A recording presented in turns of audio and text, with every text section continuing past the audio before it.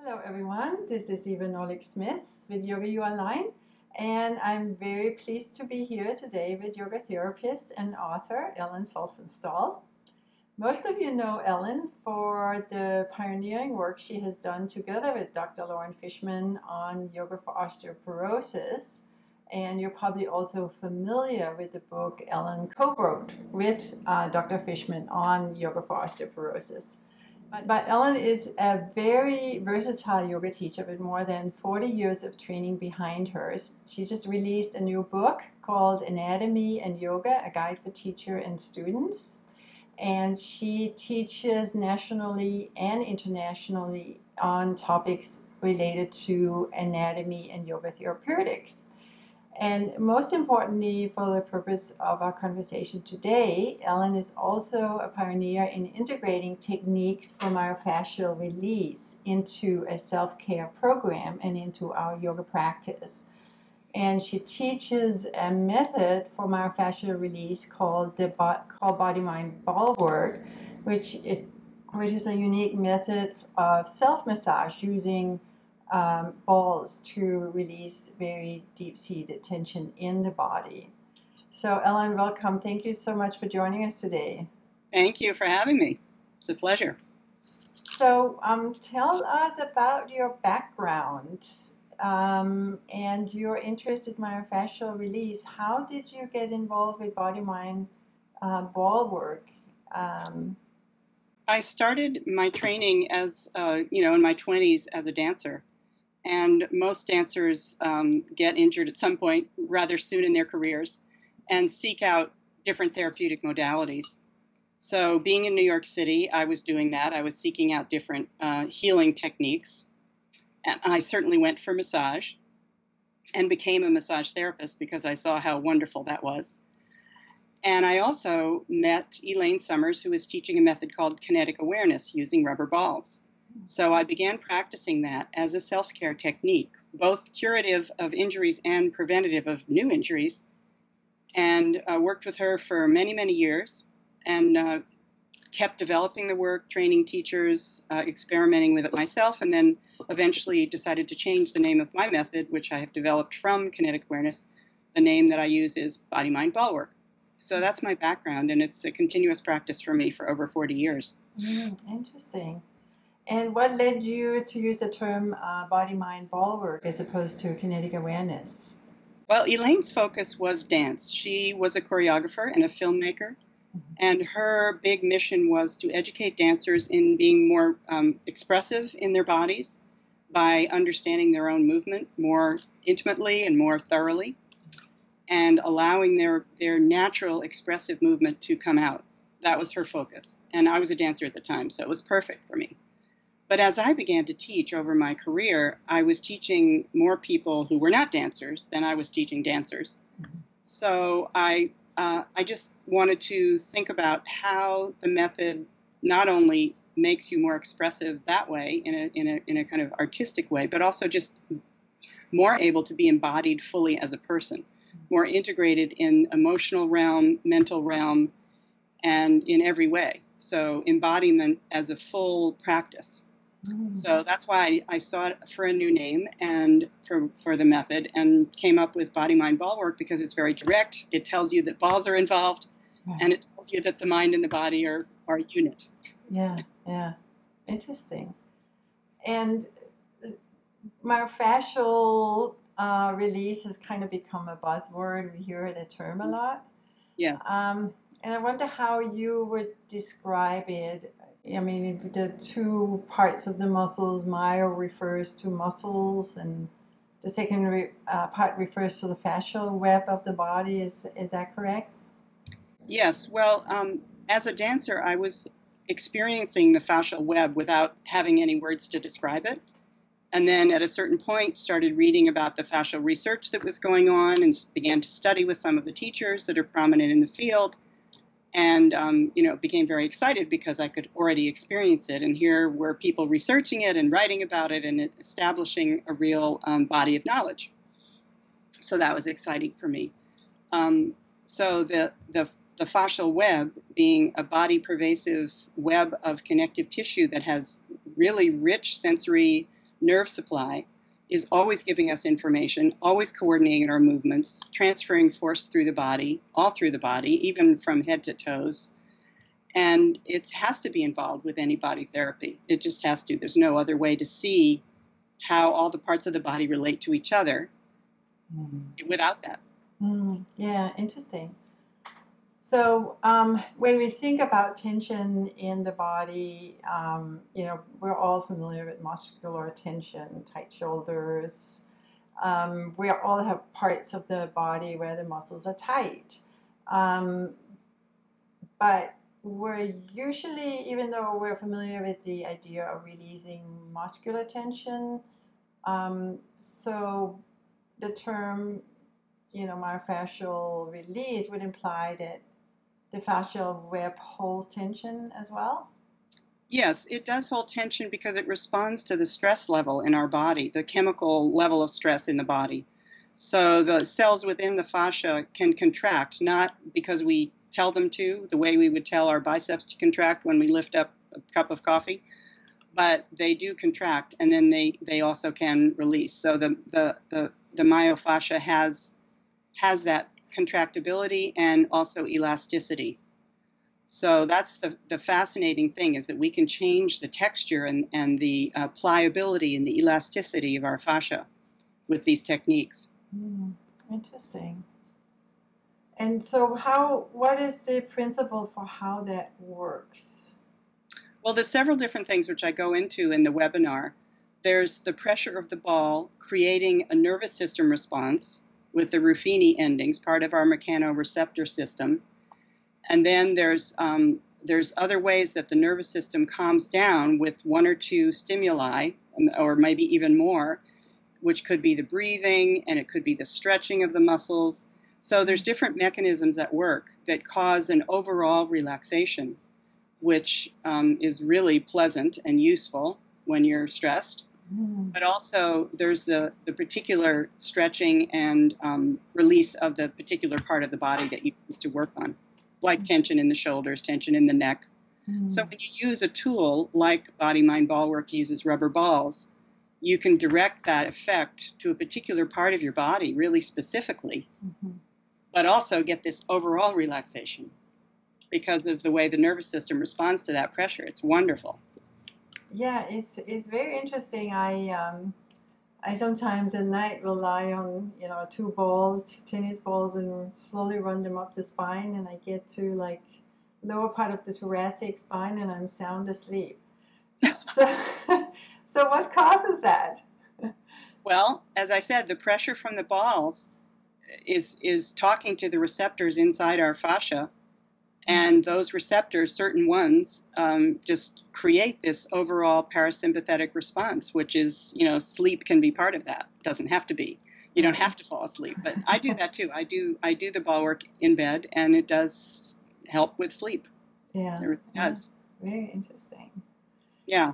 Um, so, of course, myofascial release techniques are increasingly popular as a way to help relieve stress and chronic pain. So, which other people this can particularly be useful for?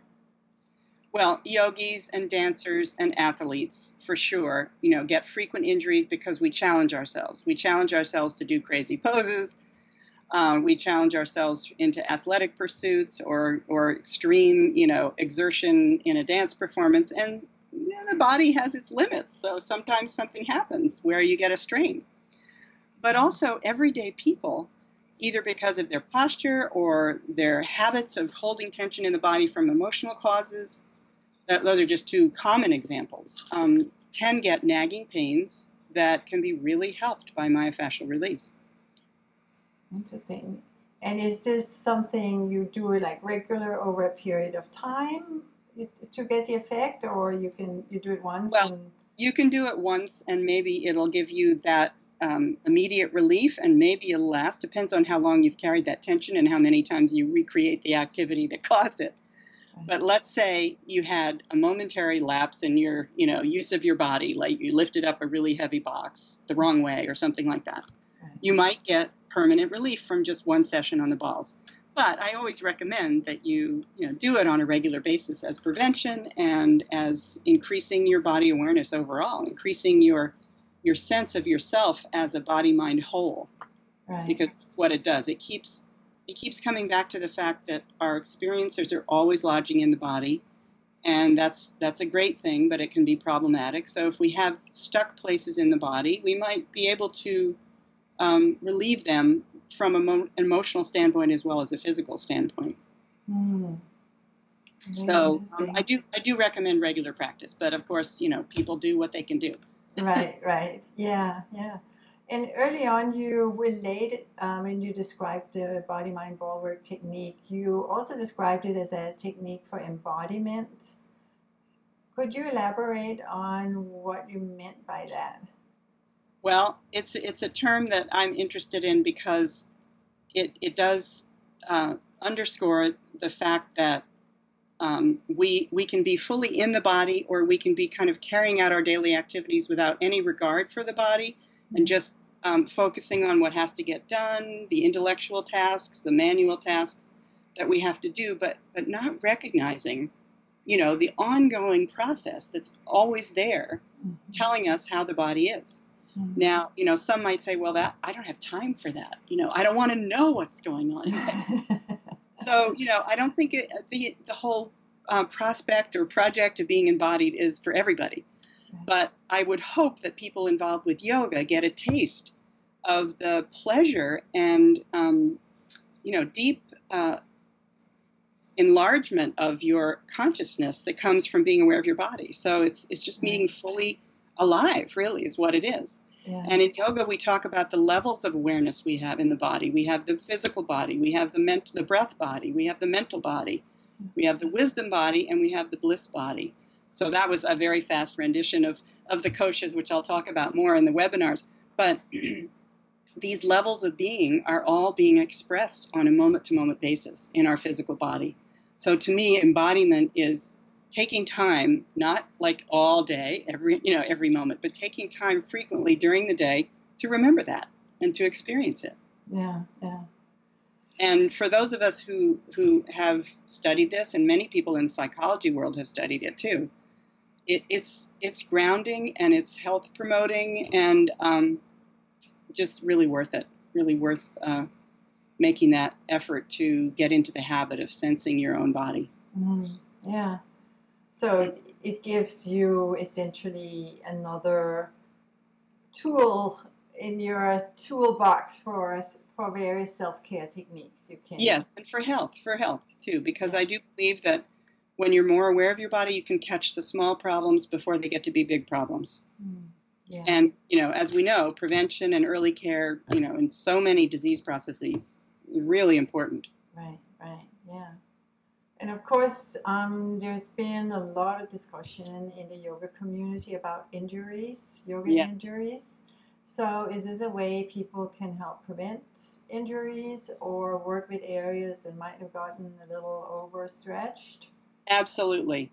So, um, it it's good in terms of balancing out the different parts of the body. So, let's say you're in a yoga practice where you've been working on a certain type of pose.